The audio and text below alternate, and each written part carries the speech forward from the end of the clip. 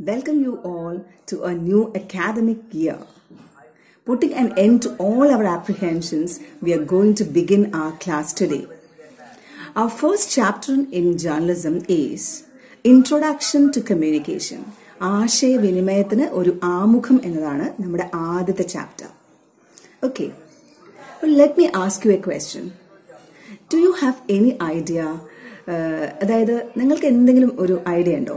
നമ്മളുടെ ആദ്യത്തെ അതായത് ഒരു ഹ്യൂമൻ ബീയിങ്ങിന്റെ ആദ്യത്തെ കമ്മ്യൂണിക്കേഷൻ എന്താണ് എന്നതിനെ കുറിച്ച് which is man's first communication to the world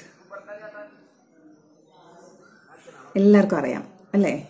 I hope that all of you have an answer in your mind anyway I tell you the moment a baby is born it cries കരഞ്ഞില്ലെങ്കിൽ എന്ത് ചെയ്യും? അതിനെ അടിച്ചോ നുള്ളിയോ ഒക്കെ കരയിക്കാൻ ശ്രമിക്കും. എന്തിനു വേണ്ടിയിട്ടാണ്? The first cry of a baby indicates that it is a life ഈ ലോകത്തോട് ആ കുഞ്ഞ് വിളിച്ചു പറയുകയാണ് കരയുന്നതിലൂടെ എന്താണ് എനിക്ക് ജീവനുണ്ട് എന്ന്. അല്ലേ? But the moment baby is born it starts communicating with the world And that is why it is said that man is a social animal. It is very difficult for a human being to stay uh, idle without interacting with the society or without interacting with the fellow beings. Okay. അപ്പോൾ communication എന്നത് നമ്മളെ സംബന്ധിച്ച് അത്രയും പ്രധാനപ്പെട്ട ഒന്നാണ്. It is one of our basic needs നമ്മൾ ചെറിയ ക്ലാസ്സിലൊക്കെ പഠിച്ചിട്ടുണ്ടാവും. അതായത് ഫുഡ് ഷെൽട്ടർ ആൻഡ് ക്ലോത്തിങ് ആണ് നമ്മുടെ പ്രാഥമിക ആവശ്യങ്ങൾ എന്നത്. പക്ഷെ അതുപോലെ തന്നെ പ്രധാനപ്പെട്ട ഒന്നാണ് ആശയവിനിമയം എന്നതും. നമുക്ക് കമ്മ്യൂണിക്കേറ്റ് ചെയ്യാതെ അല്ലെങ്കിൽ ഇന്ററാക്ട് ചെയ്യാതെ ജീവിക്കുക എന്നത് ഭയങ്കര ബുദ്ധിമുട്ടുള്ള ഒരു കാര്യമാണ്.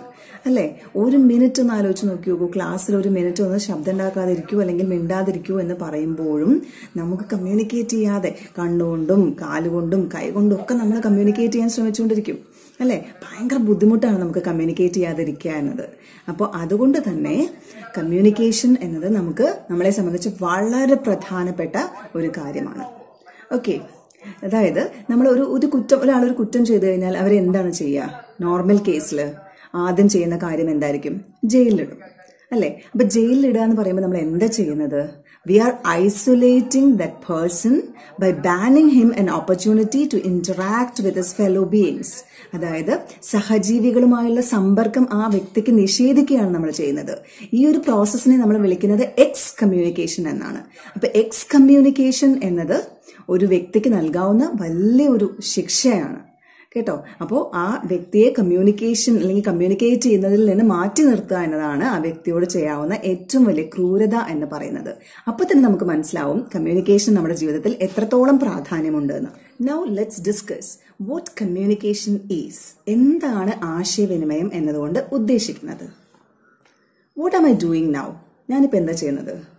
I am talking to you right I am sharing some information with you So here I'm trying to transmit a message or idea to the first year humanities students. Right?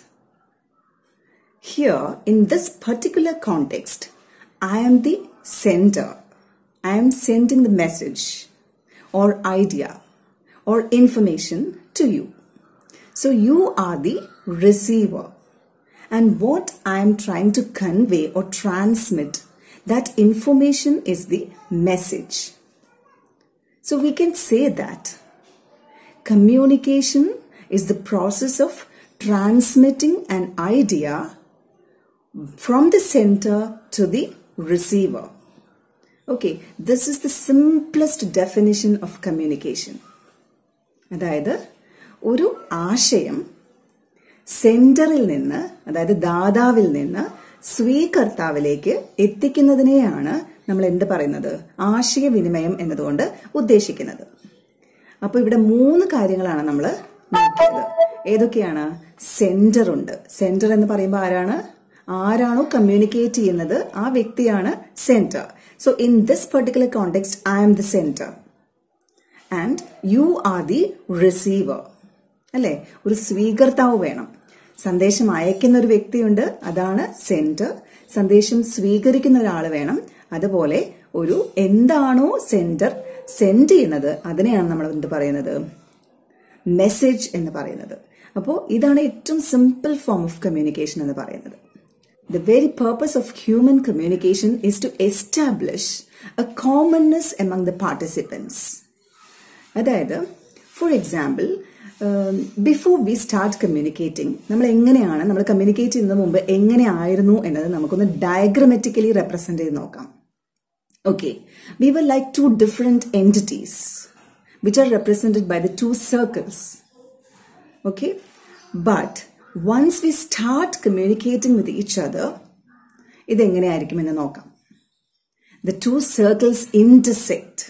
So there is a common point a common portion in the middle. Okay. So there is something in common between us once we start communicating with each other. തന്നെയാണ് communication എന്നതുകൊണ്ട് നമ്മൾ ഉദ്ദേശിക്കുന്നത്. അതായത് communication എന്ന് പറയുമ്പോൾ ഈ ഇതിൽ പങ്കെടുക്കുന്ന വ്യക്തികൾ തമ്മിൽ ഒരു സമാനമായ ഒരു സമാനത ഉണ്ടാക്കിയെടുക്കാനായിട്ട് ശ്രമിക്കുകയാണ് ചെയ്യുന്നത്. അത്തരത്തിലൊരു സമാനത ഉണ്ടാക്കിയെടുക്കുക എന്നത് തന്നെയാണ് കമ്മ്യൂണിക്കേഷൻ എന്നതുകൊണ്ട് നമ്മൾ ആത്യന്തികമായി ഉദ്ദേശിക്കുന്നത്. അപ്പൊ കമ്മ്യൂണിക്കേഷൻ എന്ന വാക്കിന്റെ ഉത്ഭവം നോക്കിക്കഴിഞ്ഞാൽ നമുക്ക് ഇത് ഇതിന്റെ ഒരു കൃത്യമായിട്ട് ഇത് മനസ്സിലാക്കിയെടുക്കാനായിട്ട് സാധിക്കും. അതായത് the word communication is derived from the Latin word communis which means common അതായത് പൊതുവായത് എന്നർത്ഥം വരുന്ന കമ്മ്യൂണിസ് എന്ന ലാറ്റിൻ പദത്തിൽ നിന്നാണ് കമ്മ്യൂണിക്കേഷൻ എന്ന വാക്കിന്റെ ഉത്ഭവം. ഓക്കെ ഓർത്തു വെക്കണം. കമ്മ്യൂണിക്കേഷൻ എന്ന വാക്കിന്റെ എറ്റിമോളജി എന്താണ്? Etymology means study of the origin of a word study about the origin of a word is known as etymology ഒരു വാക്കിന്റെ ഉത്ഭവത്തെ കുറിച്ചുള്ള പഠനത്തിനെ നമ്മൾ പറയുന്നത് എറ്റിമോളജി എന്നാണ്. അപ്പോൾ കമ്മ്യൂണിസ് കമ്മ്യൂണിക്കേഷൻ എന്ന പദത്തിന്റെ എറ്റിമോളജി എന്താണ് എന്ന് ചോദിച്ചാൽ എന്താണ്? കമ്മ്യൂണിസ് എന്ന ലാറ്റിൻ പദത്തിൽ നിന്നാണ് കമ്മ്യൂണിക്കേഷൻ എന്ന പദം ഉത്ഭവിച്ചത്. ഗോട്ട് ഇറ്റ് അപ്പോൾ കമ്മ്യൂണിക്കേഷൻ എന്ന് പറയുന്നത് ഒരു തുടർ പ്രക്രിയയാണ്. It's a continuous process sender ഒരു സന്ദേശം റിസീവറിലേക്ക് അയച്ചു കഴിഞ്ഞാൽ അവിടെ അവസാനിക്കുന്നില്ല ഇത്. മറിച്ച് എന്താണ്? റിസീവർ അത് സ്വീകരിച്ചതിന് ശേഷം സെൻഡർക്ക് തിരിച്ച് ഒരു മറുപടി അയക്കും. അവിടെ നിന്ന് വീണ്ടും സെന്റർ മെസ്സേജ് ആർക്കയക്കും? റിസീവർക്ക് അയക്കും. അങ്ങനെ അത് കണ്ടിന്യൂസ് ആയിട്ട് ഇങ്ങനെ പോയിക്കൊണ്ടിരിക്കുകയാണ്. Okay so it's a complex process as well as a continuous process okay അതൊരു സങ്കീർണമായ പ്രക്രിയയാണ്. അതുപോലെ തന്നെ ഒരു കണ്ടിന്യൂസ് പ്രോസസ്സാണ് തുടർ പ്രക്രിയയാണ്. Then not only human beings communicate but animals and birds also communicate അല്ലേ? ഹ്യൂമൻ ബീങ്സ് മാത്രമാണോ കമ്മ്യൂണിക്കേറ്റ് ചെയ്യുന്നത്? നമ്മൾ മനുഷ്യർ മാത്രമാണോ ആശയവിനിമയം നടത്തുന്നത്? അല്ല ഒരിക്കലുമല്ല. ബേർഡ്സ് കമ്മ്യൂണിക്കേറ്റ് ചെയ്യുന്നുണ്ട് ആനിമൽസ് കമ്മ്യൂണിക്കേറ്റ് ചെയ്യുന്നുണ്ട്. അത് ഞാൻ പറയാതെ തന്നെ നിങ്ങൾക്കറിയാം. അതിനുള്ള ഒത്തിരി ഒത്തിരി എക്സാമ്പിൾസ് നിങ്ങൾക്ക് അറിയാം. അല്ലേ? അതുപോലെ ഒരു ഒബ്ജക്റ്റ് നമ്മളോട് എന്തെങ്കിലും ഒന്ന് കമ്മ്യൂണിക്കേറ്റ് ചെയ്യുന്നുണ്ട്. Text messages communicate pictures or images communicate അല്ലേ? അങ്ങനെ എല്ലാം നമ്മളോട് എന്തെങ്കിലും ഒരു കാര്യം കമ്മ്യൂണിക്കേറ്റ് ചെയ്യുന്നുണ്ട്. So we case we can say that it is an omnipresent activity communication is an omnipresent activity okay then ഒരുപാട് കമ്മ്യൂണിക്കേഷൻ സ്കോളേഴ്സ് ഇതിനെക്കുറിച്ച് പഠിക്കുക ആശയവിനിമയത്തെക്കുറിച്ച് പഠിക്കുകയും ആശയവിനിമയത്തെ നിർവചിക്കുന്നതിന് വേണ്ടി കുറെ മോഡൽസ് എല്ലാം ക്രിയേറ്റ് ചെയ്തിട്ടുമുണ്ട്. അതിൽ കുറച്ച് മോഡൽസ് നമുക്ക് പഠിക്കാനുണ്ട്. അതായത് ആദ്യത്തേത് അരിസ്റ്റോട്ടലിന്റെ ഒരു മോഡലാണ്. അരിസ്റ്റോട്ടൽ ആരാ നിങ്ങൾക്ക് അറിയാം? ഗ്രീക്ക് ഫിലോസഫർ ആണ് അല്ലെ? ഗ്രീക്ക് തത്വചിന്തകനായ അരിസ്റ്റോട്ടൽ അദ്ദേഹത്തിന്റെ റെറ്റോറിക് എന്ന പുസ്തകത്തിൽ ആശയവിനിമയം എങ്ങനെയാണ് എന്നത് അദ്ദേഹം നിർവചിക്കുന്നുണ്ട്. Okay according to Aristotle there are five elements that are necessary for communication to take place and these five elements are speaker, speech, occasion audience and effect അതായത് അരിസ്റ്റോട്ടിൽ അദ്ദേഹത്തിന്റെ വളരെ പ്രശസ്തമായ റെറ്ററിക് എന്ന പുസ്തകത്തിൽ ആശയവിനിമയത്തെ നിർവചിക്കുന്നുണ്ട്. ആശയവിനിമയം നടക്കണമെങ്കിൽ അഞ്ച് ഘടകങ്ങൾ ആവശ്യമാണ് എന്നാണ് അരിസ്റ്റോട്ടിൽ പറയുന്നത്. അത് ഏതൊക്കെയാണ്? സ്പീക്കർ അതായത് സന്ദേശം അയക്കുന്ന വ്യക്തി ദാതാവ്. സ്പീച്ച് സന്ദേശം. Okay occasion. ഒക്കേഷൻ എന്താണ്? ഒരു സന്ദർഭം. അതായത് ആശയവിനിമയം നടക്കണമെങ്കിൽ ഒരു സന്ദർഭം ആവശ്യമാണ് എന്നാണ് അരിസ്റ്റോട്ടിൽ പറയുന്നത്. Communication takes place always in a context ഒരു കോണ്ടെക്സ്റ്റ് അല്ലെങ്കിൽ ഒരു ഒക്കേഷനിൽ മാത്രമാണ് ആശയവിനിമയം നടക്കുന്നത്. അല്ലെങ്കിൽ ആശയവിനിമയം നടക്കണമെങ്കിൽ ഒരു കോണ്ടെക്സ്റ്റ് അല്ലെങ്കിൽ ഒക്കേഷൻ ആവശ്യമാണ് എന്നാണ് അരിസ്റ്റോട്ടിൽ പറയുന്നത്. ഓക്കെ ഇവിടെയും നമ്മൾ ആശയവിനിമയം നടത്തുമ്പോൾ ഒരു കോണ്ടെക്സ്റ്റ് ഉണ്ട്. എന്താ അത്? നമ്മുടെ ജേർണലിസം ക്ലാസ് ആണ്. അപ്പോൾ ജേർണലിസം പഠിക്കുകയാണ് നമ്മൾ അതാണ് ഇവിടുത്തെ കോണ്ടെക്സ്റ്റ് എന്ന് പറയുന്നത്. അല്ലേ? അപ്പോൾ ഒരു പ്രത്യേക സന്ദർഭത്തിൽ വെച്ചാണ് ആശയവിനിമയം നടക്കുന്നത് എന്നാണ് അരിസ്റ്റോട്ടിൽ പറയുന്നത്. So speaker speech occasion then audience audience എന്ന് പറയുന്ന ആരാണ്? സ്വീകർത്താവ് അഥവാ റിസീവർ ആണ്. ദെൻ ഇഫക്റ്റ് ഇഫക്റ്റ് എന്ന് പറഞ്ഞാൽ പരിണിത ഫലമാണ് ആശയവിനിമയത്തിന് ഒരു പരിണിത ഫലം ഉണ്ട് എന്നാണ് അരിസ്റ്റോട്ടിൽ പറയുന്നത്. ഓക്കെ അപ്പൊ അരിസ്റ്റോട്ടലിന്റെ മോഡൽ ഇതാണ്. അരിസ്റ്റോട്ടൽ പറയുന്നത് ആശയവിനിമയം നടക്കണമെങ്കിൽ അഞ്ച് ഘടകങ്ങൾ ആവശ്യമാണ് എന്നാണ്. അത് ഏതൊക്കെയാണ്? Speaker speech occasion audience and effect got it next ഒരു മോഡൽ നമുക്ക് നോക്കാം. ഹാരോൾഡ് ഡി ലാസ്വെൽ ഒരു American political scientist and communication ആണ് ഇദ്ദേഹം. ഹാരോൾഡ് ഡി ലാസ്വെൽ എങ്ങനെയാണ് കമ്മ്യൂണിക്കേഷനെ നിർവചിക്കുന്നത് എന്ന് നോക്കാം. അദ്ദേഹത്തിന്റെ മോഡൽ എന്ന് പറയുന്നത് കുറെ ചോദ്യങ്ങളാണ്. കുറെ ചോദ്യങ്ങൾ അദ്ദേഹം ഉന്നയിക്കുന്നു. അതിനുള്ള ഉത്തരമാണ് കമ്മ്യൂണിക്കേഷനുള്ള നിർവചനം എന്നാണ് അദ്ദേഹം പറയുന്നത്. അപ്പൊ അദ്ദേഹത്തിന്റെ മോഡൽ ഇങ്ങനെയാണ്. Who says what in which channel to whom with what effect അപ്പൊ ഇതിനകത്ത് എന്തൊക്കെ വരുന്നുണ്ട് നമുക്ക് നോക്കാം. ഓക്കെ അതായത് ആദ്യത്തെ ചോദ്യം എന്താണ്? ഹു ആര്? ആര് എന്നതുകൊണ്ട് ഇവിടെ ഉദ്ദേശിക്കുന്നത് എന്താണ്? ആരാണ് സന്ദേശം അയക്കുന്നത്? സെൻഡർ ആണ് ദാതാവ്. സേസ് വാട്ട് എന്താണ് പറയുന്നത്? എന്താണ് കമ്മ്യൂണിക്കേറ്റ് ചെയ്യുന്നത്? അതെന്താണ്? മെസ്സേജ് ആണ്. സന്ദേശം. ഇൻ വിച്ച് ചാനൽ ഏത് മാധ്യമം ഉപയോഗിച്ചാണ് ആശയവിനിമയം നടത്തുന്നത്? ഓക്കെ അപ്പൊ മാധ്യമം അവിടെ വന്നു കഴിഞ്ഞു. മൂന്നാമത്തെ ഘടകം എന്ന് പറയുന്നത് എന്താണ്? മാധ്യമം അഥവാ channel okay medium who says what in which channel to whom ആരോട്? ആരോട് എന്ന് പറയുമ്പോൾ എന്താണ്?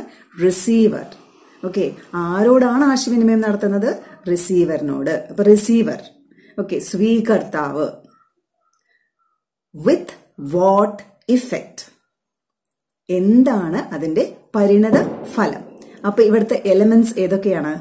ഹൂ എന്ന് പറഞ്ഞാൽ സെന്റർ സേസ് വാട്ട് എന്ന് പറഞ്ഞാൽ എന്താണ്? Message in which channel medium to whom receiver with what effect that is the effect of the communication അപ്പൊ ഇത്രയും ചോദ്യങ്ങൾക്കുള്ള ഉത്തരമാണ് ആശയവിനിമയം എന്നാണ് ഹാരോൾഡ് ഡി ലാസ്വെൽ ആശയവിനിമയത്തെ നിർവചിക്കുന്നത്.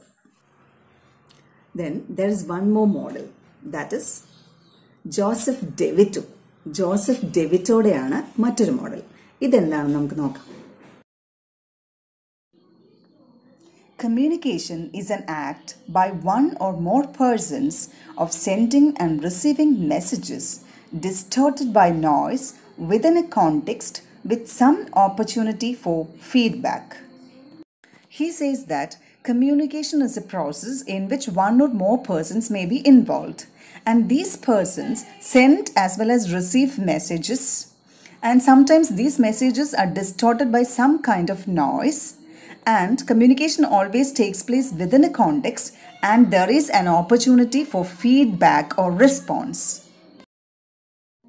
Joseph ഡെവിറ്റോയുടെ അഭിപ്രായത്തിൽ എന്താണ് ആശയവിനിമയം നമുക്ക് നോക്കാം.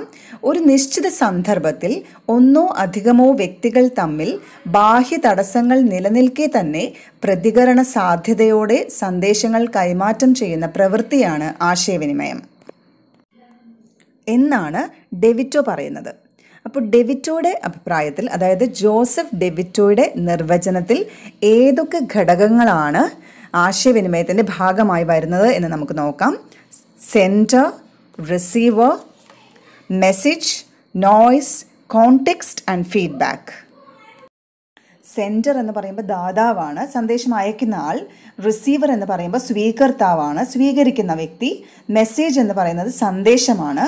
നോയ്സ് എന്ന് പറയുമ്പോൾ ഇത് ആശയവിനിമയം തടസ്സപ്പെടുത്തുന്ന എന്തോ ഒന്നുണ്ട് അതിനെയാണ് നമ്മൾ നോയ്സ് എന്ന് പറയുന്നത്. കോണ്ടെക്സ്റ്റ് എന്ന് പറയുമ്പോൾ ആശയവിനിമയം നടക്കുന്ന സന്ദർഭമാണ് ഫീഡ്ബാക്ക് എന്ന് പറയുന്നത്. റിസീവറുടെ റെസ്പോൺസ് ആണ്. അതായത് സ്വീകർത്താവിന്റെ മറുപടിയാണ് ഫീഡ്ബാക്ക് എന്നതുകൊണ്ട് ഉദ്ദേശിക്കുന്നത്. അപ്പോൾ കുറച്ചുകൂടി ഫാക്ടേഴ്സ് ഇതിനകത്ത് കൂടുതലാണ്. നേരത്തെ നമ്മൾ പഠിച്ച ഡെഫിനിഷൻസിൽ നിന്നും നോയ്സ് എന്നതും ഫീഡ്ബാക്ക് എന്നതും ഇതിനകത്ത് കൂടുതലായിട്ട് നമുക്ക് കാണാനായിട്ട് സാധിക്കും. സോ ഇന്നത്തെ ക്ലാസ് ഇവിടെ അവസാനിക്കുകയാണ്. ഇനി നമുക്ക് നെക്സ്റ്റ് എപ്പിസോഡിൽ കാണാം. ബൈ